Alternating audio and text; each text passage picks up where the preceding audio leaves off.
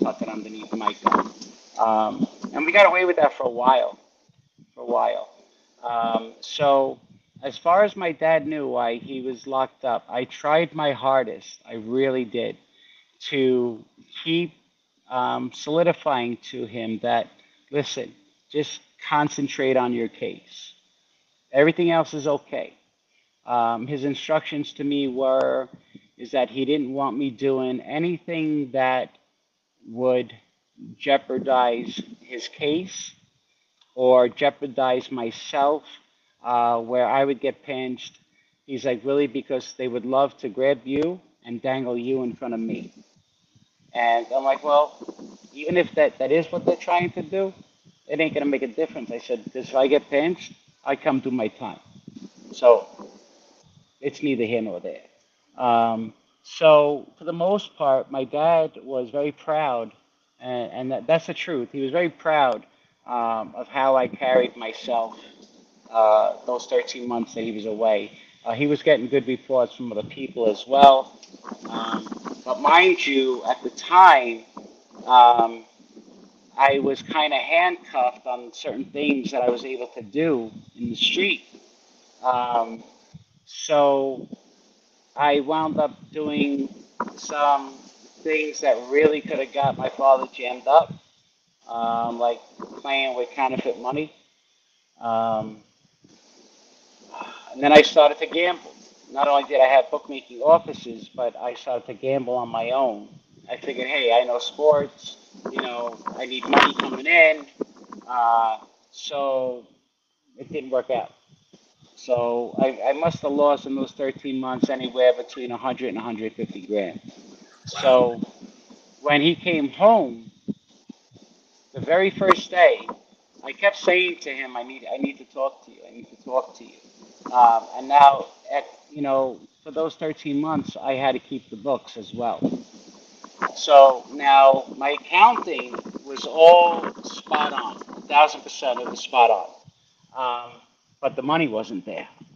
It was it was about 150 light, and you know, I said, you know, this is why I needed to talk to you. I says, uh, I, I was gambling for those 13 months.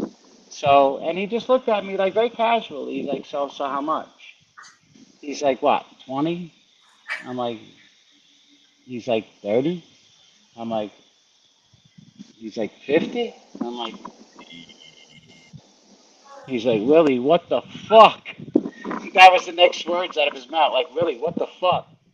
And uh, he's like, are we talking around 100? And I was just like, he's like, oh, man. He's like, he's like, we're going to have to pick up this conversation a little later. Um, he had people coming by the house to see him. So uh, I think it may, might have been the next day. Um, he was going through the book and he saw that all the accounting was right, but uh, certain amounts of cash was missing. Um, now, what happened was a lot of guys that were in the book that were making their, their Shylock payments every week, um, when they found out that I was gambling, um, I got shelved. Let, let me just put it that way. A lot of a lot of people don't understand. Well, if you're an associate, how do you get shelved? I heard that before. Yeah, I'm like, first of all, my father was Wild Bill, and I'm his son, so yeah, I got shelved. You know, um, he didn't tell me, hey, you're never coming to the club again. He just told me you're not allowed up at the club right now. Um, everything that you got going on in the street stops. Um, you cannot talk to anybody. If I find out they're talking to you, I'm going to hurt them. So make sure before someone starts to talk to you, you warn them first.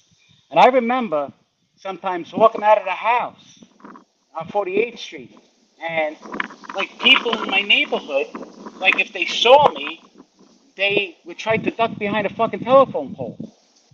I'd be like, man, I can see you. Like, what the, what the fuck? But they were afraid to talk to me. Um, so that lasted, yeah, that lasted a few months uh, that he shelved me.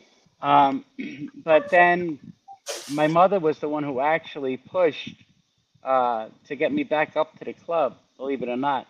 Um, she turned around and said, Bill, can't, can't you just take your son back up to the club? And he, like he sits out there like a puppy dog. You know, he sits on the stoop waiting for you to come home.